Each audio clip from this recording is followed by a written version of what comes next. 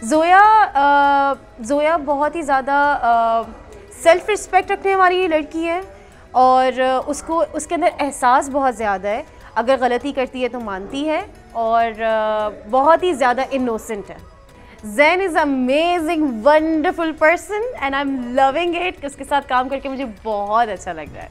Script पढ़ने के बाद सबसे पहला ख्याल ये आया कि इस स्क्रिप्ट में इतना पॉजिटिव मैसेज है एक हस्बैंड और वाइफ के रिलेशन को लेके जो कि बहुत ज़रूरी है लोगों तक पहुंचाना।